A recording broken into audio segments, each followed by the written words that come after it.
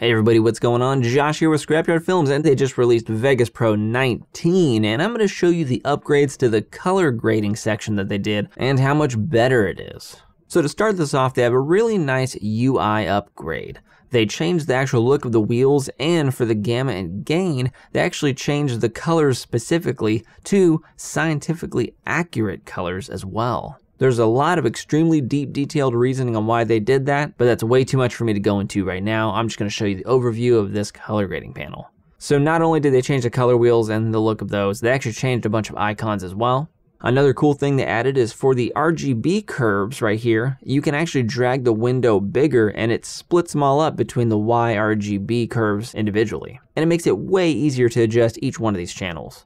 Next, they added manufacturer created built-in camera LUTs to the input LUT tab. So we select the input LUT tab, we'll now see a LUT drop-down menu, and we select that, we'll see a bunch of different brands of LUTs like Blackmagic, we got Canon, DJI drones, Nikon, Sony, Panasonic, and even Red.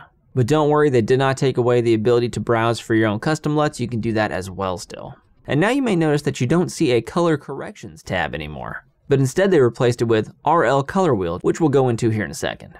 So they didn't get rid of color channels, they actually moved the color channels to their own little icons on each one of these sections of the color wheels. So if you wanted to toggle the color channels, you just select this little icon and it changes from the wheel to the individual RGB Y channels. They also added two more buttons, one on lift and one on gain, and the one on lift allows you to specify a black point in your video, which will do its best to compensate the luminance level and adjust any RGB automatically as necessary. Sometimes it doesn't work out the best, but it's still there just in case you need it. And then over here on gain, they have a specify white point, which does the same thing, but for the whitest value. So you choose the brightest, whitest part of your screen, and it's going to automatically adjust the luminance levels and some RGB tweaks to try to get the white balance correct. Another neat thing about these color wheels is that they added when you drag the circle from the center away, it's going to show you what color you're landing on by connecting line from the circle to the center of your wheel. The closer your circle is to the center of the wheel, the less saturated that line is. And the closer your circle is to the outer part of the wheel, the most saturated your line is.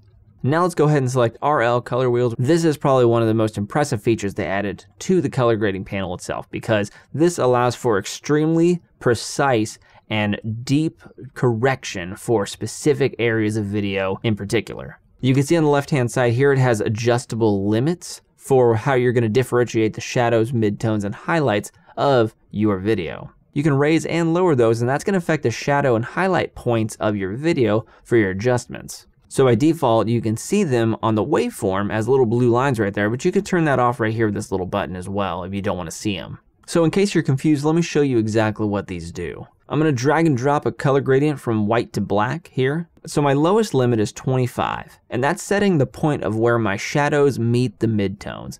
So if I drag my shadows brighter and darker, you'll see that it's going to be only pivoting at that point that I set for my lower limit. Now I can still adjust this limit up and down and all the results will move accordingly. So now we go to the highlights and do the same thing. And then when we adjust the midtones, that's going to be everything in between the range that we set. Now, one thing I'm noticing that I hope they change in the future is that right there where the limits are, the pivot point is an extremely sharp pivot point. It has no real roll off. It's more of just an extremely sharp change. So if they can add some feathering to that, maybe give some Bezier roll off or whatnot, if you can adjust that, that'd be fantastic. Because it would make for a much smoother transition when you're adjusting your shadows or highlights. And another cool thing that they added is the ability to quickly add Bezier masking and motion tracking from inside the color grading panel. If you go over to the right hand side and go to the effects, you can click the drop down and you'll see Bezier masking. Go ahead and select it, and it adds Bezier masking to your event chain. If you select Bezier masking, if you drop down the general options, you'll see the regular options, but a brand new motion tracking button that was added. Basically, once you're done customizing your mask, you can select this motion tracking button and it'll automatically add it to the motion tracking panel, which saves a lot of time. So let's go ahead and adjust the mask. We drop down the mask one right here. And what I want to do is track this bricked rectangle area. Should be a pretty easy track. I can go down to type and I'm going to actually go to curve, which is the drawing mask type. So this is where I select the points. I'm going to select the top left of this brick, bottom left, bottom right, top right, and connect it back to the first point. And that is the shape I want to track. And I want to keep that shape of the brick this whole time. So once you're done, uncheck the edit mode right here. And then we're going to go to motion tracking. And it's going to add this Bezier mask into our motion tracking panel.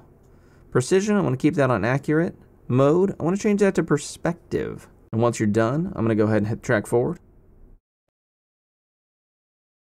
Alright, once we're done, let's scrub through and see what it looks like. Goes from the beginning all the way down there.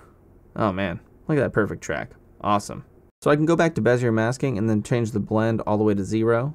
And then I could change this scene however I want. Let's say, let's make this a little bit you know, purple or something like that. Then I go out of color grading, Alt G. I can take this track and right click and then duplicate it. Take this bottom track, go to the effects and remove everything, color grading, Bezier masking, all that. And now we have a simple tracked and graded video.